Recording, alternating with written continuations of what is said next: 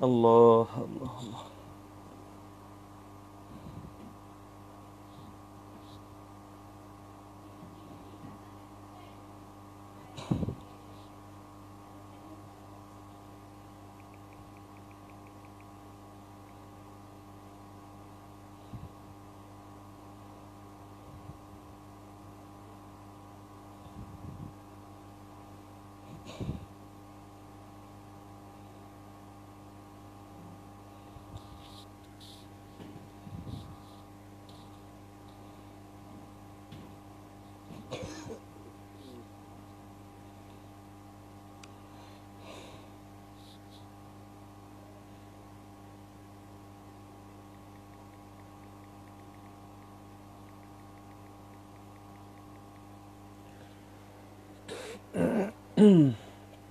Bismillahirrahmanirrahim.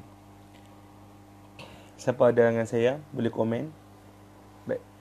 Bismillahirrahmanirrahim. InsyaAllah kita mulakan uh, dengan kita hadiahkan Fatihah pada Rasulullah sallallahu alaihi wasallam dan kepada Maulana Al-Imam An-Nawawi radhiyallahu taala anhum dan kepada Maulana Syekh Ali Jum'ah radhiyallahu taala anhu dan sekalian para ulia, para ulama dan sekalian kaum muslimin dan muslimat. شيء لله لهم الفاتحة. أعوذ بالله من الشيطان الرجيم. بسم الله الرحمن الرحيم. الحمد لله رب العالمين. الرحمن الرحيم مالك يوم الدين. إياك نعبد وإياك نستعين. اهدنا الصراط المستقيم. صراط الذين أنعمت عليهم غير المغضوب عليهم ولا الضالين. آمين. بسم الله الرحمن الرحيم.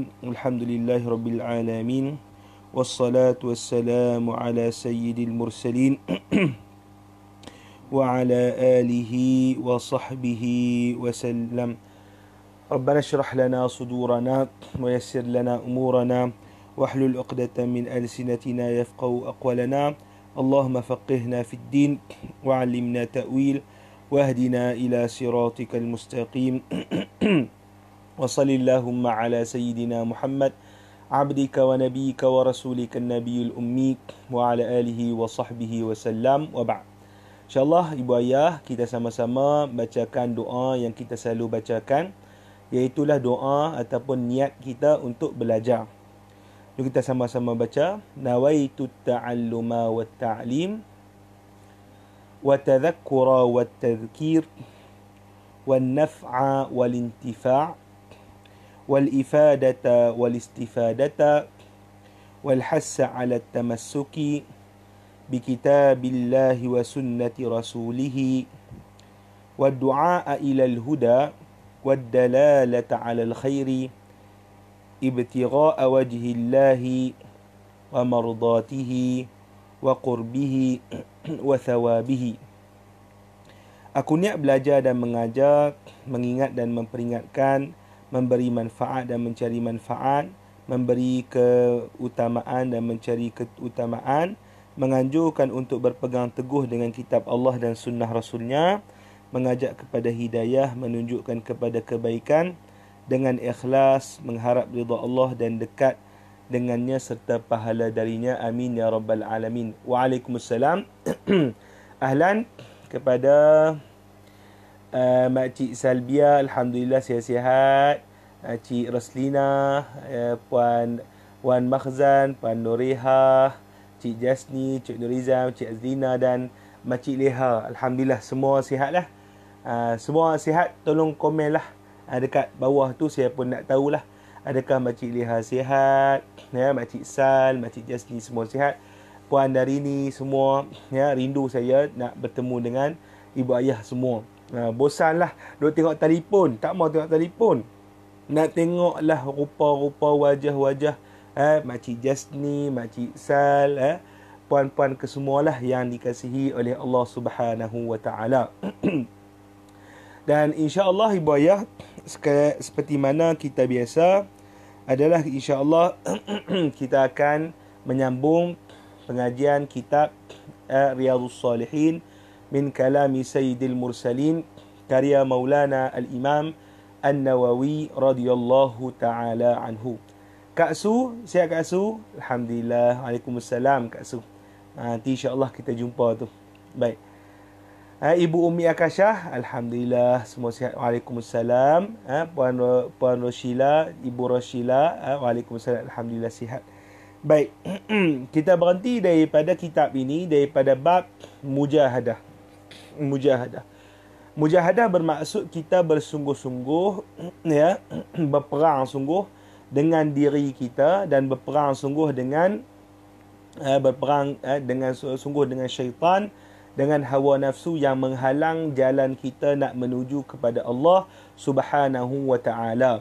Ha, kiranya kalau ada waktu tu diri kita ni ada sikap malah kita perang sungguh sikap malah itu. Dan kalau ada ha, bisikan-bisikan yang nak suruh kita buat kejahatan kita perang sungguh ha, daripada bisikan-bisikan kejahatan tersebut. Maka itulah yang dimaksudkan dengan makna apa? Mujahadah. Dan kelebihan mujahadah ni kita dah baca pada hadis minggu lepas saya sebut kepada ibu ayah bahawasanya mujahadah kalau kita bersungguh-sungguh nak pada Allah Taala maka Allah nak kepada kita berkali-kali ganda lagi maknanya Allah Subhanahu Wa Taala akan ha, ha mensyukuri ha, dan melipat kali ganda ganjaran dia kepada ki kepada kita. Ha, Walid Akasha, Alhamdulillah, Waalaikumsalam. Ha, moga sihatlah ibu juga, ha, ayah juga sama-sama insyaAllah. Ha, baik. dan ha, kita dah sebut dalam hadis-hadis yang lepas bahawasanya apa? Ha, Allah Subhanahu Wa Taala itu diumpamakan. Ha, Allah Taala itu mengumpamakan diri dia kalau apa kita ini bergerak sejengkal kepada dia Allah Taala akan bergerak apa? Ha, sedepa ha, ataupun sehasta kepada kita. Kalau kita bergerak sehasta Allah Taala akan bergerak apa? Sedepa itu dipanggil perumpamaan. Perumpamaan kepada ke semakin kita bersungguh-sungguh semakin Allah Subhanahu wa taala redha kepada kita semakin Allah Subhanahu wa taala melimpah ruahkan pahala bagi diri bagi diri kita. Ya, ibu ayah itu yang kita pelajari daripada hadis berkenaan dengan makna mujahadah. Baik. Hari ini insya-Allah taala kita akan menyambung ha, hadis yang ketiga daripada bab mujahadah. Hadis yang ketiga daripada bab mujahadah. Makcik Leha, muka surat berapa Makcik Leha? Uh, Makcik Jasni, muka surat berapa? Kita berhenti? Tolong komen dekat bawah tu. Uh, bantu uh, uh, ibu-ibu kita yang lain uh, untuk mereka tahu uh, berapa muka surat yang kita pelajari. Muka surat berapa yang kita yang kita pelajari. Ya? Baik. Uh, Cik Jasni Puan Noreha Alhamdulillah rindulah dekat semua ibu-ibu saya ni. Baik jadi hadis yang ketiga kita baca. Baik. قال المصنف رحمه الله قال المصنف والشارح رحمهما الله تعالى ونفعنا بهما وبعلومهما وبعلوم مشايخنا بعلومكم في الدارين امين قال الثالث عن ابن عباس رضي الله عنهما قال قال رسول الله صلى الله عليه واله وسلم نعمتان مغمود فيهما كثير من الناس الصحه والفراغ rawahu al-Bukhari. Rawahu Bukhari. Apa maksud dia? Hadis yang ketiga Ali bin Abbas daripada Ibn Abbas radhiyallahu taala anhuma qala katanya itu kata Ibn Abbas qala Rasulullah sallallahu alaihi wa alihi wasallam sabda Rasulullah sallallahu alaihi wa alihi wasallam ha, ibu ayah saya sebut sallallahu alaihi wasallam ibu ayah ni tak?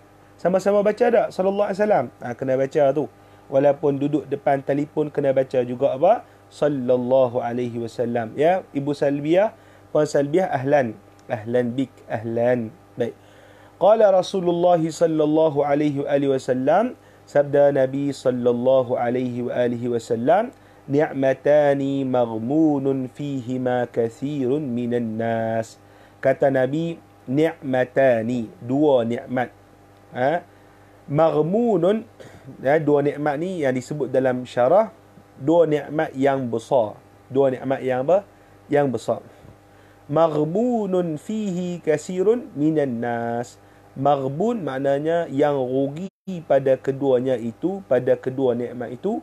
Kasirun minan nas. Ramai daripada kalangan manusia. Apakah dua nikmat itu? As-sihhatu wal-faraghu. Iaitulah nikmat kesihatan dan nikmat kelapangan. Al-faragh maknanya kelapangan. Ha? Apa dia Nabi sebut?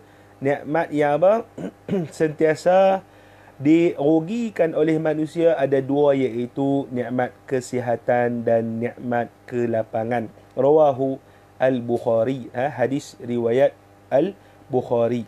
Baik. Dalam hadis ini Nabi sallallahu alaihi wasallam daripada hadis Ibnu Abbas ha, kita dah cerita kepada ibu ayah sebelum ini beliau data siapa dia? Ibnu Abbas eh? siapa nama dia? Abdullah bin eh? bin Abbas. Abdullah bin bin Abbas. Radhiyallahu taala anhuma. Ya sepupu Rasulullah Allah wasallam. Dan beliau lahir pada bila? Ha ibu ayah ingat? Lahir pada lahir pada awal apa? Awal hijrah. Nah, Nabi SAW ke Madinah. Dan uh, Ibn Abbas ini kiranya ketika Nabi wafat umurnya itu berumur 13 tahun umurnya uh, ataupun umur ber, ber, berumur 11 tahun dan Rasulullah sallallahu alaihi wasallam telah mendoakan kepadanya uh, doa doa yang sangat sangat masyhur yang kita hafal adalah Allahumma faqihhu fid din wa 'allimhu at-ta'wil. Ya Allah, eh, faqihkan dia dalam agama dan ajarkan kepada dia ta'wil al-Quran. Ta'wil al-Quran maksudnya adalah tafsir al-Quran. Baik, itu biodata sahabat dia al-Imam Ibn Abbas radhiyallahu taala anhuma.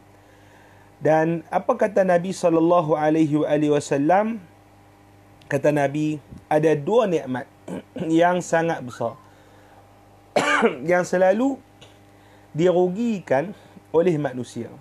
Ha, dua nikmat yang besar yang selalu dirugikan oleh siapa? Oleh manusia. Makna apa rugi itu? Iaitu Nabi saw ibaratkan ya, nikmat yang Allah Taala bagi pada diri kita ini seperti perniagaan. Seperti apa? perniagaan kan kita sebut ha, benda apa yang ada rugi yang ada untung? Ha, ibu aslinya sekat-sekat. Yang lain jelas tak? Suara saya jelas. Ibu ayah suara saya jelas. Kalau jelas tolong komen di bawah. Ha, ibu ayah kalau jelas tolong komen di bawah. Baik. Baik. Bila Rasulullah wasallam kata dua nikmat ini selalu dirugikan oleh manusia. Apa maksud dirugikan? Apa makna rugi tu? Ha? Rugi ni benda yang berlaku pada apa? Perniagaan, betul? benda yang berlaku pada apa? Perniagaan. Maka Nabi sallallahu alaihi wasallam seakan-akan mena- me- me- menyamakan seakan-akan apa? Menyamakan antara nikmat yang Allah Taala berikan kepada kita sebagai modal dalam berniaga. Sebagai apa? modal dalam apa? Dalam berniaga. Jadi, kiranya kalau kita guna modal, beli barang, barang tu pula beli kita jual tak laku jadi rugi, maka itu eh, benda yang adalah sangat-sangat apa? Tidak cerdik. Tidak apa? Batuk sikit, minta maaf. Baik. Tidak apa? Tidak tidak cerdik. Boleh faham? Jadi ada dua nikmat yang sangat besar yang Nabi wasallam sebutkan kepada kita iaitu adalah nikmat sihat dan juga nikmat waktu lah waktu lapang. Kenapa? Hubungan dua nikmat ini eh, apakah hubungan dua nikmat ini dengan bab mujahadah yang kita sebutkan tadi dengan bab bersungguh-sungguh dengan bab apa? Bersungguh-sungguh. Boleh faham? Maka kata uh, ulama-ulama bahawasanya apabila kita sihat maka dalam keadaan sihatlah baru kita dapat apa? Bersungguh-sungguh untuk apa? Melaksanakan amal ibadat. Ya, berbeza dengan pada ketika dah, sak, dah sakit. Dah sakit ni, tak boleh nak buat apa lah. nak beribadat pun tak boleh. Boleh faham? Hanya perlu apa? Bersabar sahaja. Mengharap pada apa? Rahmat daripada Allah subhanahu wa ta'ala sahaja. Boleh tapi kalau kita sihat, kita boleh berdiri, mata kita boleh nampak celik lagi, telinga kita boleh dengar lagi, maka sepatutnya mata kita tadi kita tengok Al-Quran, tengok ibu bapa kita, tengok Kaabah, tengok benda-benda yang lain. Ya, tengok benda-benda yang baik. Dengar dengan telinga kita ni nikmat-nikmat yang apa? Yang besar. Seperti dengar Al-Quran, dengar kuliah pengajian. Boleh? Mulut kita pun sama guna untuk baca Al-Quran. Baca Al-Quran. Boleh? Jadi, kita kata Allah Baik Itu siapa tu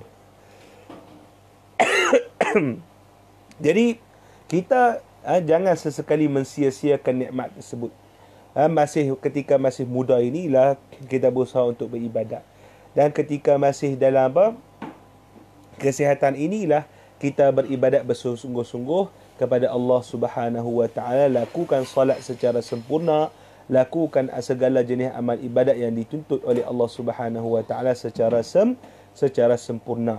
Boleh? Baik. Itu satu perkara.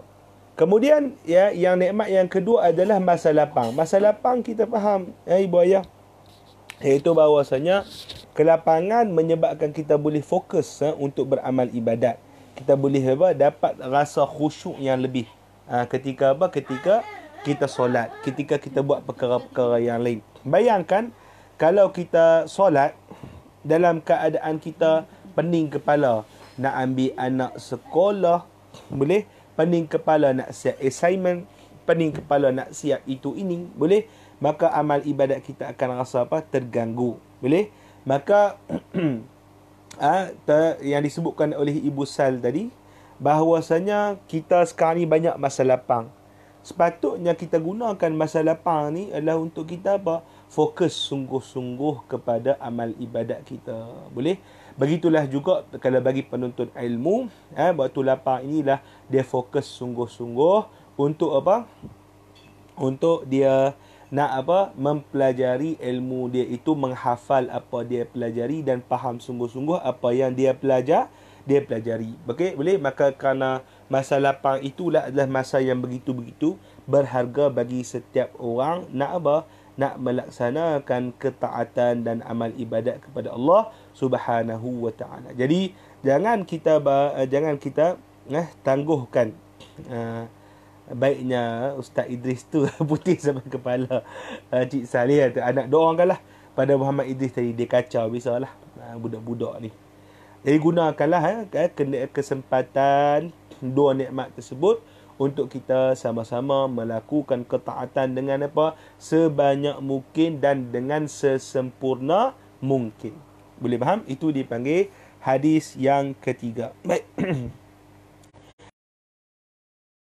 Kata Nabi Imam An-Nawawi hadis yang keempat daripada Al-Mujahadah. Qala Allah Ar-Rabi'u hadis yang keempat an Aisyah radhiyallahu anha ha, daripada Aisyah Allah taala anha anna an-nabiy sallallahu alaihi wasallam kana yaqumu min al-layli hatta tatafattara qadamahu فقلت له لما تصنع رسول الله وقد غفر الله لك ما تقدم من ذنبك وما تأخر وما تأخر baik apa maksud dia? Daripada Aisyah radhiyallahu taala anha katanya bahwasanya Nabi sallallahu alaihi wa alihi wasallam itu yaqumu min al-lail bangun malam. Hatta tatafattara sehingga pecah-pecah kakinya. Ha, pecah-pecah kakinya. Tatafattara maknanya pecah tumit kakinya. Faqultu lahu maka aku kata kepadanya iaitu Sayyidina Aisyah kata kepada Nabi sallallahu alaihi wasallam Lima tasna'u hadha ya Rasulullah?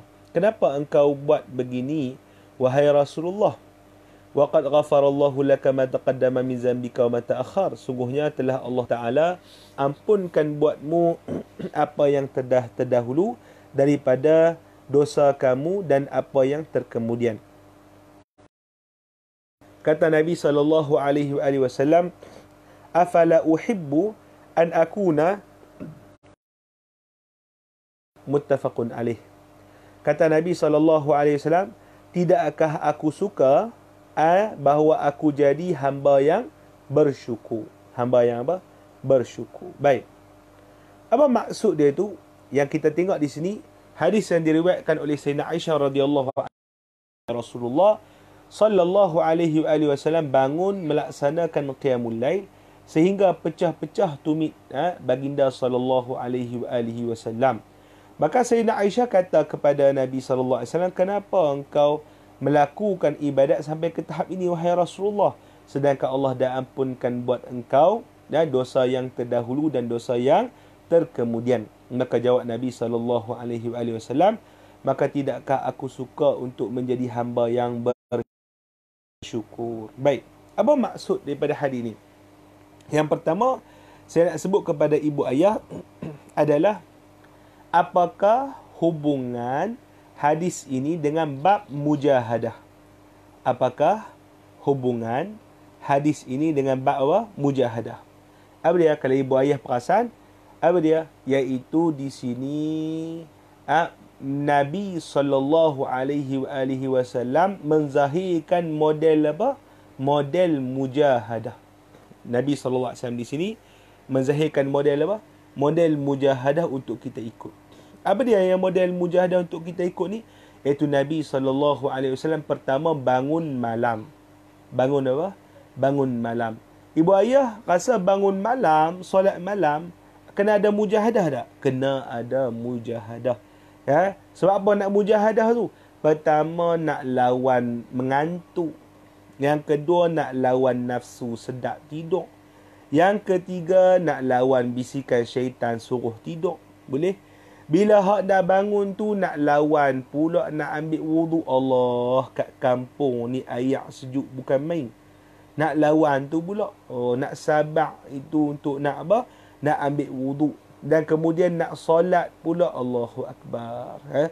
Susah sungguh untuk nak bangun qiyam qiyamul lail. Boleh itu satu mujahadah. Kemudian yang kedua, apa dia mujahadah yang dizahirkan oleh Rasulullah sallallahu alaihi wasallam adalah apa? Nabi SAW punya baginda itu bersungguh-sungguh untuk solat berdiri sampai kaki pecah pe pecah-pecah itu ha, dia. Ha tu nak kata apa? Nak kata apa? Lamanya berdiri Rasulullah sallallahu alaihi wasallam ketika apa? Solat apa? Solat tahajud. Ketika solat malam. Kan kita pernah sebutkan sebelum ini bahawasanya Rasulullah eh ataupun tak ada lah dalam kelas ni insya-Allah ibu ayah nanti hadir kelas Al-Fadil Ustaz Azam baca dalam kitab Syama'il Muhammadiyah. Apa dia? Iaitu Rasulullah sallallahu alaihi wa alihi wasallam.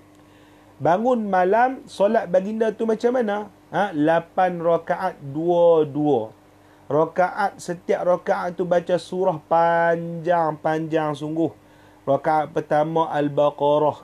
Rakaat kedua Ali Imran. Ha tu dia ibu ayah rasa berapa lama baca Baqarah tu? Tiga juzuk Baqarah. Boleh faham ibu ayah? Ha? Jadi kita kata apa? Kerana terlampau lama berdiri tersebut adalah berlaku pada Rasulullah sallallahu alaihi wasallam pecah-pecah kaki baginda sallallahu alaihi wa alihi wasallam. Boleh? Maka ini menzahirkan kepada apa Nabi apa? Berpenat-penat, berusaha bersungguh-sungguh untuk apa? Untuk menzahirkan apa ha, amal ibadat ketaatan kepada siapa Allah Subhanahu wa taala. Baik, itu dipanggil hubungan hadis ini dengan apa? Dengan bab mujahadah. Itu yang pertama. Yang kedua adalah apa? Yang dizahirkan daripada pertanyaan Sayyidatina Aisyah dan jawapan Nabi sallallahu alaihi wasallam. Sekali lagi yang kedua poin yang kedua apa? Saya nak sampai kepada ha, kan, kepada ibu ayah adalah apa yang dizahirkan daripada pertanyaan Sayyidatina Aisyah kepada Rasulullah SAW dan jawapan Rasulullah SAW kepada Sayyidatina Aisyah. Ibu ayah jangan lupa share tu. Ha, pakat-pakat share. ha, lagi ada orang nak tengok-tengok tu. Ha, baik, saya lupa saya share dulu. ha, dia rugi ni kalau ha, orang pakat-pakat nak pakat tengok hadis ni rugi kalau tak share. Ya, ya baik.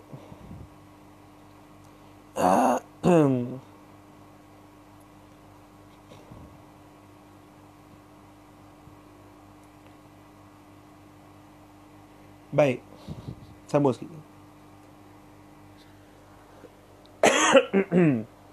Jadi kitanya yang kita kata bahawasanya persoalan yang kedua adalah Sayyidat Aisyah tanya kepada Nabi. Apa yang Sayyidat Aisyah tanya kepada Nabi?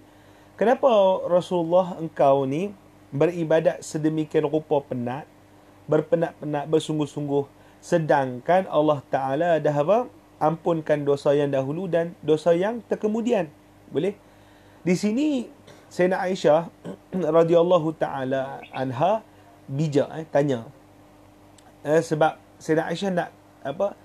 Nak faham eh, bagaimana sikap Nabi kepada Allah Subhanahu wa taala. Sikap Nabi, kepada apa? Allah Subhanahu wa taala. Kita sikap manusia, sikap kita orang biasa adalah sikap kita dengan Allah taala dia.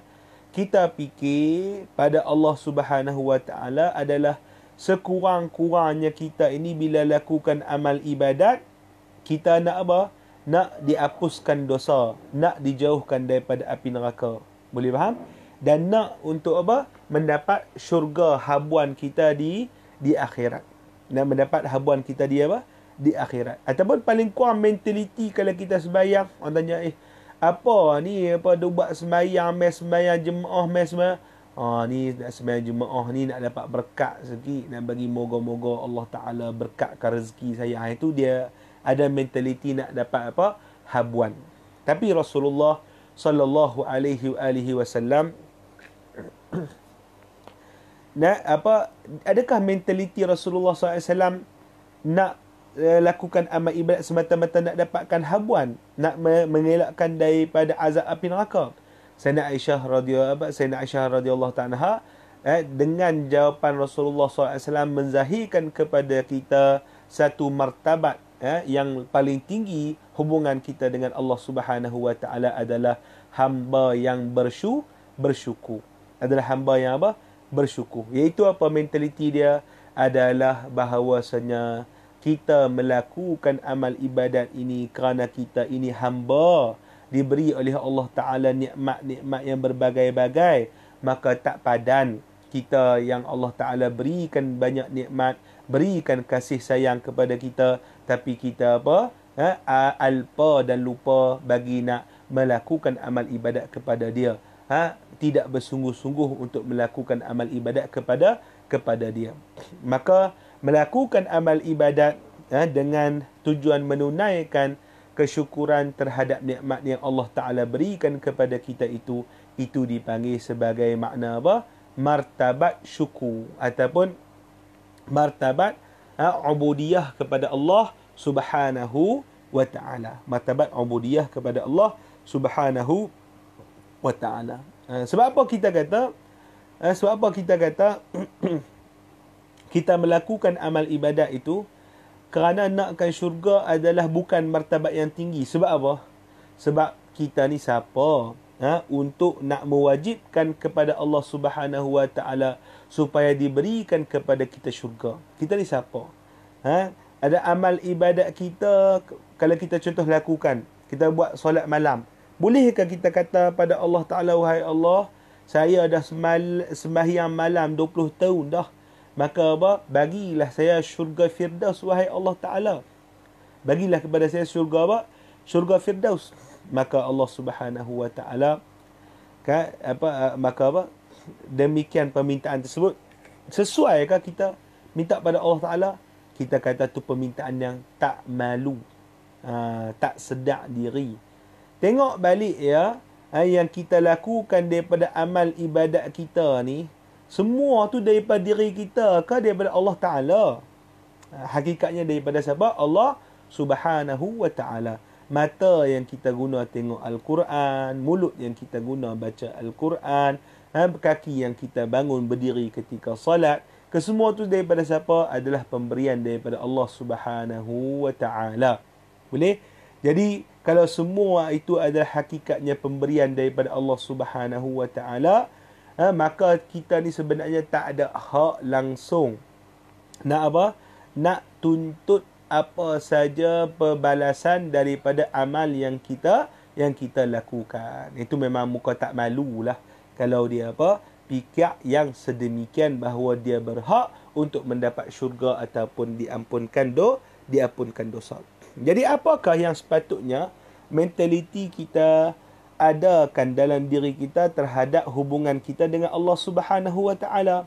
Jadi adalah hubungan kita dengan Allah Subhanahu Wa Taala adalah seperti yang diajarkan oleh Rasulullah sallallahu alaihi wasallam iaitu kita melakukan amal ibadat kerana apa menunaikan tugas hamba kepada Allah Taala Allah Taala dah bagi dia macam-macam takkanlah aku ni biadab sangat untuk aku tidak ber tidak bersyukur Allah Taala tu Tuhan aku ni hamba buatlah apa yang aku ya disuruh oleh Allah Subhanahu wa taala. Boleh? Baik.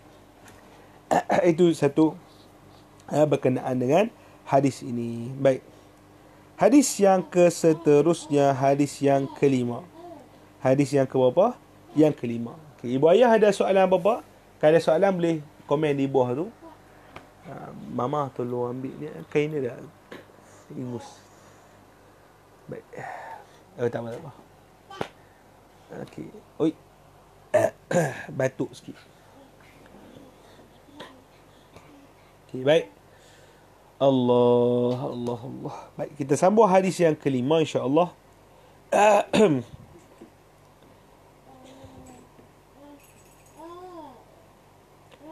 hadis yang kelima An Aisyah radhiyallahu taala anha amboi Ustaz Azam rak penuh kat utaji ke? Ha, ni utaji lah. Ha, ni. Sa'azam ni. Penuh ni rak ni buku-buku ni. Ha ni. Ah oh, Ustaz dia duk ingat kita ambil buku dia. Buku Ustaz Zan dekat ni tu. Dekat Cerah Jaya tu tak ada kat sini. Ya. Baik. Kita sambung. Hadis yang kelima an Aisyah radhiyallahu anha annaha qalat kana Rasulullah sallallahu alaihi wa alihi wasallam idza dakhala al-ashru ahya al-laila wa ayqadha ahlahu وجد وجد وشد المئزر متفق عليه. والمراد العشر الأواخر من شهر رمضان والمئزر الإزار وهو كناية عن اعتزال النساء وهي وقيل المراد تشميره للعبادة. يقال شددت لهذا الأمر مئزري أي تشمرت وتفرغت له. baik apa maksud dia hadis yang diriwayatkan daripada Aisyah radhiyallahu taala anha bahwasanya Rasulullah sallallahu alaihi wasallam apabila masuk 10 malam ha 10 malam ni seperti yang disebut oleh Imam Nawawi tadi adalah 10 malam yang terakhir daripada bulan Ramadan. Maka apabila masuk 10 malam yang terakhir daripada bulan Ramadan, maka Nabi SAW akan menghidupkan malam dan akan membangkitkan ahli keluarga baginda dan akan bersungguh-sungguh dan mengikat kain. Dan akan dan apa mengikat mengikat kain. Hadis eh, hadis muttafaqun alaih itu dikeluarkan oleh al-Bukhari dan juga al-Muslim. Baik. Apabila di sini sama kita kata menzahirkan model mujahadahnya Nabi sallallahu alaihi wa alihi wasallam. Terutamanya bila yang betul-betul Nabi apa mujahadah sungguh-sungguh ni adalah apa? Mujahadahnya Nabi sallallahu alaihi wasallam pada 10 terakhir di bulan Ramadan. 10 terakhir di bulan Ramadan tu Nabi sallallahu alaihi wasallam tidak tidur langsung ataupun tidak hanya apa sejenak dan Nabi sallallahu alaihi wasallam menghidupkan se, eh, hampir seluruh malam. Hampir apa? Seluruh malam. Apa dia menghidupkan hampir seluruh malam itu? Kerana apa? Kenapa? kerana pada 10 terakhir daripada bulan Ramadan adanya malam Lailatul malam Lailatul Qadar yang lebih daripada seribu bulan. Maka Nabi SAW sunnah baginda, baginda sendiri bersungguh-sungguh, kita sebagai ketua keluarga, kita sebagai ahli keluarga, kita apa? Mengejutkan anak-anak kita, mengejutkan isteri kita untuk kita sama-sama menghidupkan malam Ramadan. Hari ini insya-Allah lah akan start malam Ramadan kita akan bertarawih. Tarawih masing-masing lah. Ha? ha Makcik Isa tarawih kat mana bulan ni? Ha? Makcik Jasni tarawih kat mana? Ha, jangan pergi tarawih masjid pula orang tangkap sekejap lagi. Ha? ha tak boleh tarawih masjid. Kak Su? Ha, tarawih kat rumah saja nak. Ha, jadi jangan tarawih kat mana? Jangan tarawih kat masjid. Lagi orang tangkap mampus. Boleh? Ha, jadi tak apa. Tarawih di rumah masing-masing. Ha, tapi yang disebutkan oleh para ulama bahawa saya menghidupkan malam ha, dia maksudnya menghidupkan malam secara sepenuhnya yang sunnahnya adalah pada 10 terakhir daripada Ramadan sahaja. Adapun pada malam-malam eh, daripada bulan-bulan yang lain tak digalakkan untuk menghidupkan eh, malam secara sepenuhnya kerana dia memberi mudarat pada apa? pada kesihatan dan memberi mudarat pada pekerjaan kita pada siang hari. Boleh? Jadi eh, kalau pada apa? malam-malam biasa kita buat sunnah Nabi sallallahu alaihi wasallam maknanya kita bangun pada 2 per 3 malam dan kemudian kita tidur semula pada se, pada apa baki eh, seper enam malam baki seper enam apa seper enam malam boleh faham itu yang disebutkan dalam sunnah Nabi sallallahu alaihi wa alihi wasallam baik kemudian hadis yang seterusnya hadis yang ke yang ke enam Hadis yang keenam. Ya. Puan Rozana tanya Allah banyak menjanjikan balasan ganjaran kepada hamba-hamba yang beramal soleh. Tetapi sebagai hamba kita hanya melakukan amal soleh kerana tanda bersyukur kepada segala nikmatnya. Betul? Betul Puan Rozana? Itu kita apa? Ha, zahirkan kepada tanda bersyukur. Kita nak nak tuntut ha, apa nak tuntut ganjaran-ganjaran tu sebenarnya kita tak layak ya tapi kita apa ha, kita ni kena sedar diri lah bahawasanya kita ni tak layak nak tuntut. Tapi kita boleh harap pada Allah Subhanahu wa taala daripada apa kemuliaan Allah Subhanahu wa taala dan kita laksanakan sungguh-sungguh ha, amalan yang dia yang di yang disuruh oleh Allah Subhanahu wa taala untuk kita lakukan kerana apa nak apa melaksanakan tugas kita sebagai ham hamba Allah Subhanahu wa taala. Boleh? Baik. Uh, kemudian kita baca hadis yang keenam, hadis yang terakhir. InsyaAllah kita ambil hadis yang terakhir di sini. Dah saya batuk sih. hadis yang keenam. An Abi Hurairah radhiyallahu anhu qala qala Rasulullah sallallahu alaihi wasallam al-mu'minul qawi khairun wa ahabbu ila Allah min al-mu'min ad-dha'if wa fi kullin khair ihris ala ma yanfa'uk wasta'in billah wa la ta'jis وإن أصابك شيء فلا تقل لو أني فعلت كذا وكذا ولكن قل قدر الله وما شاء فعل وإن فإن لو تفتح عمل الشيطان رواه مسلم فإن لو تفتح فتفتح عمل الشيطان baik.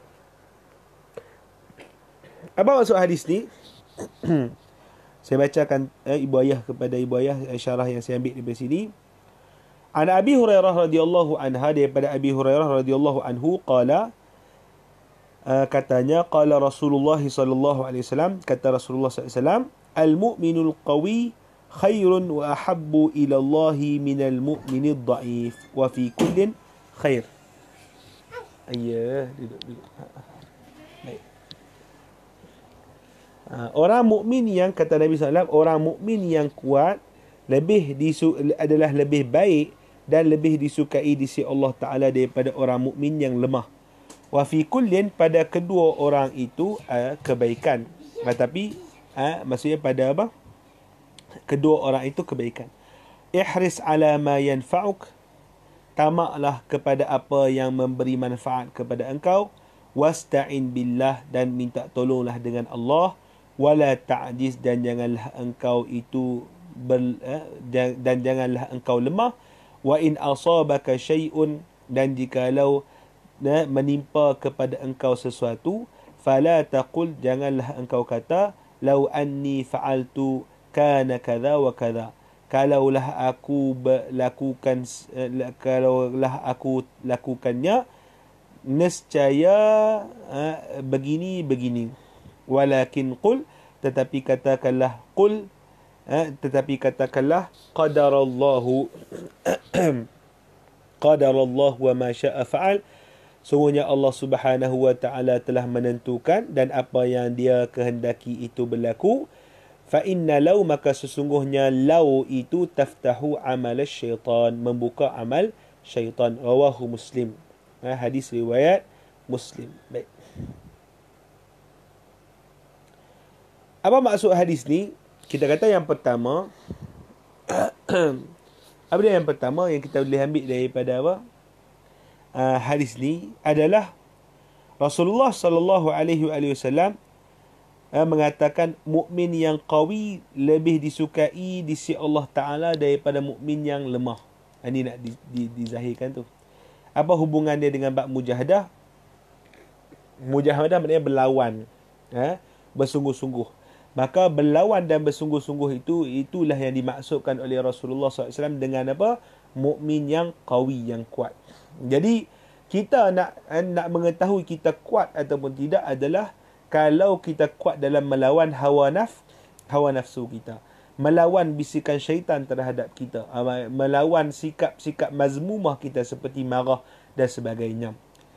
Maka pada ketika itu barulah kita layak dipanggil sebagai mukmin qawi boleh maka mukmin yang qawi mukmin yang kuat adalah uh, lebih baik dan lebih dicintai di sisi Allah taala daripada mukmin yang yang lemah. Tapi Nabi sallallahu alaihi wasallam kata dua-dua itu baik. Ha, maksudnya mukmin tu selagi mana dia mukmin tak kira dia itu lemah ataupun kuat ala kulli hal dia masih lagi apa? Masih lagi baik. Tetapi mana yang lebih baik? Tentulah mukmin yang kuat kemudian kata Nabi wasallam ha, mengarahkan kita untuk kita sentiasa tamak tamak tu maknanya bersungguh-sungguh untuk menghasilkan perkara yang memberi manfaat kepada kita yang memberi manfaat itu terutamanya pada urusan apa dunia dan akhir dunia dan akhirat. Maksudnya tamak pada manfaat duniawi seperti apa? Tamak untuk kita mencari rezeki, memberi nafkah kepada ahli ahli keluarga contohnya. Tamak lagi apa lagi tamak pada urusan akhirat iaitu tamak pada untuk kita sentiasa bersungguh-sungguh melakukan solat, ha, baca Quran dan perkara-perkara yang baik yang menjadi ha, bekalan kita di akhir di akhirat. Itu maksud Nabi sallallahu alaihi wasallam wasta'in billah dan mintalah tolong dengan Allah Taala wala ta'jiz dan jangan kita rasa rasa lemah. Dan jangan duk kita rasa lemah dan kita terus bangun. Dan kesemua diri kita ni hakikatnya adalah dengan bantuan Allah Allah Subhanahu wa taala. Baik. Kata Nabi sallallahu alaihi wasallam kalau ada sesuatu yang menimpa kita janganlah kita kata ish kalaulah aku buat macam ni nescaya jadi macam ni ataupun nescaya tak jadi macam ni. Boleh faham? Macam mana tu? Kita contohnya apa dia? Ha, nak pi apa minta kerja kan ha, minta kerja waktu tu bos tu dah apa? Dah apa? Dah kata okey mai lah mai kerja kat sini ni. Kita pun minta kerja kat tempat lain. Maka waktu tu ha, kita apa uh, uh, minta kerja yang tak pasti lagi daripada company seorang lagi. Hak yang company apa? Pertama yang bos suruh main ni uh, kita waktu tu kita uh, reject tolak tak mau tak mau lah bos saya tak saya nak uh, bekerja dengan company yang company B lah. Boleh uh, waktu tu apa dia ha, tak apalah company eh, A dia tutup lah permohonan dia pergi apa ambil pekerja lain waktu tu kita ni uh, kerja dengan hak company B pun tak dapat, kerja dengan company A pun tak ada, tak dapat. Lepas tu anak kita nak membeli susu pun tak dapat. Nah, boleh kiranya payahlah kehidupan tadi. Susahlah kira ditipa musi musibah. Maka pada ketika tu jangan kita duduk apa duduk apa eh kalaulah aku buat sekian-sekian, kalaulah aku buat sekian-sekian, ha kalau kalau ni apa dia ni? Kalau ni nak masukkan bahawasanya apa? dia seakan-akan apa? tak puas hati dengan apa yang berlaku. Dia tak puas hati tentang apa yang apa yang berlaku. Maka pada ketika itu dia lemah untuk nak apa? Nak bangun balik.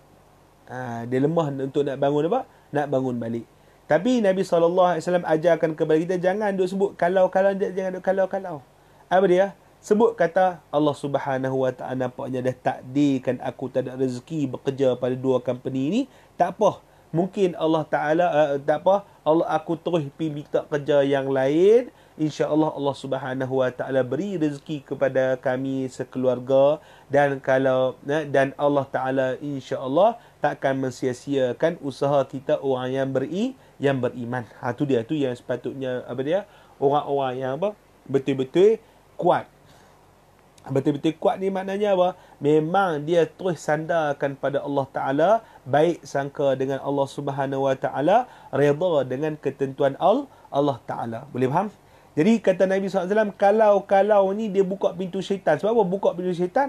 Saya kita duk rasa, duk pergi pesalah orang, pi pesalah diri kita. Lah kali sampai duk bersalah-bersalah bersalah Allah Taala. Ha, Allah Taala ni tak adil lah. Eh kata nak janji begitu apa pun tak jadi. Ha tu dipanggil apa? Sikap negatif yang dilarang oleh Rasulullah sallallahu alaihi wa alihi wasallam. Baik. Insyaallah hadis yang ketujuh kita sambung pada uh, minggu hadapan ataupun pada bila yang diberi ke uh, apa kelapangan oleh Allah Subhanahu wa taala jadi saya minta izin untuk kita berhenti awal sikit. Sebab apa? Uh, hidung duk tersumbat saya tak boleh nak apa bercakap banyak sangat. Uh, otak jadi blur, hidung tersumbat, eh, tekak duk terbatuk-batuk ni. Makan banyak harum manis sangat. Ah uh, tu tu. Macam Isa nak pesan harum manis ke? Najib Isa tu. Ah uh, tu kena main pesan harum manis tu. Uh, nak pesan harum manis PM. Ah tak ada gua. Khair khair insya-Allah. Nanti kita jumpa eh Ibu Ayah, eh Kak Su, Cik Sal. Kita jumpa lagi insya-Allah taala pada kesempatan yang lain. Jom kita tutup majlis dengan tasbih kafarah. Nasrullah subhanakallahumma bihamdik asyhadu an la ilaha illa anta astaghfiruka wa atubu ilaik. Bismillahirrahmanirrahim. Al-'asr innal insana lafi khusr illa alladhina amanu wa amilus salihati wa tawassaw bil wa tawassaw bis sabr. Alhamdulillahi rabbil alamin. Baik uh, ustaz eh, macam mana pula orang yang sakit dan tidak berdaya nak buat banyak amal ibadat? Macam mana nak cakap? Nak buat apa? Tak berdaya dah makcik sal uh, uh, uh, ibu sal. Apa kalau dah memang sakit dah tak berdaya nak buat amal ibadat macam mana? Ha? Jadi kita panggil amal ibadat hanya dengan apa? Mengingat Allah Subhanahu wa taala harap pada Allah subhanahu wa ta'ala sahaja. Boleh faham? Itu saja. Tak, tak, ada, tak ada buat benda lain lah. Ha, jadi ibadat bagi orang sakit adalah reda dengan Allah Ta'ala. Harap ha, kesembuhan daripada Allah Ta'ala. Dan harapkan lagi apa? Ha, apa kemuliaan daripada Allah Subhanahu Wa Ta'ala. Itu sahaja. Adapun nak bangun, tak lah, memang tak larat lah. Tadi nak buat apa. Boleh? Baik. Ahlan ubi kasih insyaAllah saya sampaikan. Salam kepada ha, Idris dan isteri insyaAllah ta'ala. Wallahu subhanahu wa ta'ala. Selamat berpuasa semua pada uh, Kak Su dan semua insya-Allah. Ha, uh, Puan Isma, Puan Isma dan sebagainya insya-Allah taala.